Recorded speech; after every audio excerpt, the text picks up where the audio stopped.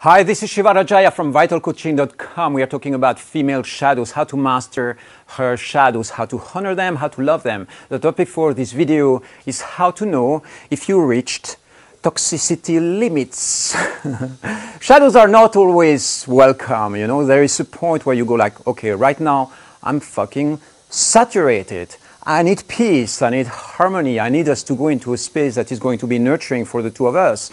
And um, so it's good to check in and feel when you are reaching the saturation point where you go, enough is enough. We've been in too much intensity for the last months, two months, three years, 10 years. I'm done with this, okay? So there is a point where you reach the breaking point, literally. So here is how it works, you know, how I feel it works. When you meet somebody, very often you are going to be in the nice, beautiful, romantic period for a certain period of time. It might be uh, between a month to six months, maybe longer, maybe you never leave the romantic time, the romantic period. But basically what it means is that you've got mainly lights coming in, light, light energies light vibration. And, and uh, this light vibration, this light frequency feels really good. It's love, it's nurturing, it's care, validation, presence, transparency. You know, it's a whole lot of qualities that feel really good into your system and it nurtures you and it gives you love. And it's beautiful when you receive them. You love receiving that. You love receiving conscious touch from your partner. And so there is going to be a moment where suddenly the first, you know, kind of dissonance starts kicking in. It might be a simple fight over some argument over something that she wants to buy or, or a parent coming in or you know some ex-boyfriend or lover coming into, into her field or somebody coming into your field as well you know a new woman something. But uh, the, the point is that there is going to be a moment where you have this little dissonance where you go like oh we are reaching a little point of friction here so you observe that first moment, and sometimes that moment is going to kick in within the first date. you know, it might be there already in the very beginning. It's possible. But you are going to observe that, and then you are going to start witnessing or realizing that sometimes you are in resonance and sometimes you are in dissonance. Sometimes you are in fight trigger mode, you are in friction mode, and sometimes you are in opening and heart space. And when you are in heart space, most of the times you feel really relaxed you feel like, oh, it's easy, yeah, chill, and then suddenly you go like, oh, that's it, she's getting triggered, or you are getting triggered about something. And then here we go, then you start diving into the shadow again. So you can measure how much time you actually spend in shadow mode or dissonance mode, and how much time you spend in light mode or resonance mode. And very often for couples, you know, you, you will be into the 80 to 100% resonance or light mode.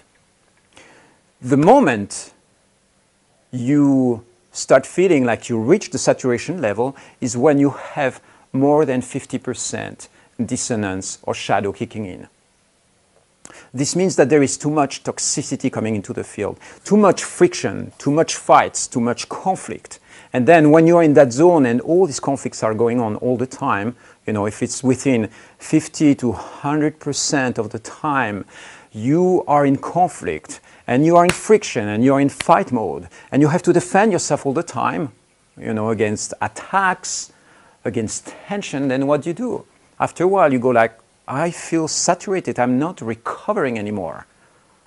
And so when you are in that zone, for instance, if you are with a, with a woman who is intense or in shadow mode 80% of the time, you know, either processing or attacking or fighting or complaining or after a while you go like, you know what, honey, there is just too much toxicity in our field.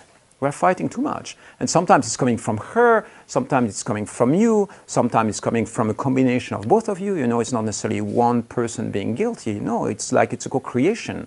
It's like something that you generate and build together. So at that point, very often it's going to be, you know what, we are reaching the saturation point. I'm not sure if we can be together because there is just too much. So it's good to figure out when is the time to give up because effectively for certain relationships in certain moments in your life, you might be reaching the saturation point and be like, you know what, it's no longer working for me. The degree of toxicity is too high. And so it's good to know that, you know, what, when I'm saying embracing her shadows, it doesn't mean just throwing your life away and being in dissonance mode all the time, okay? It simply means having the capacity to at least embrace, witness, and stay present in moments of intensity. But that intensity sometimes represents maybe 20% of the interaction that you have with her. And that's fine, you know, that's manageable. It's like if you are in harmony for four days and then you have one day of dissonance or challenge and fight, then that's okay, that's manageable. If you have four days of fight and dissonance and then one day of harmony in a week, then you're in trouble most of the times because your system just doesn't recover. It's like if you are in war zone all the time, you know, what are you going to do? Where's the harmony? Where's the beauty? Where is the love? You get that, right? So watch for yourself, for your own relationship and for your connection with the people in your life. You know, how much toxicity is there in the field? Is it something that your system can take? And the moment you feel like you're reaching the saturation level, then maybe it's time to say goodbye. You get that? I'll see you soon for another tip.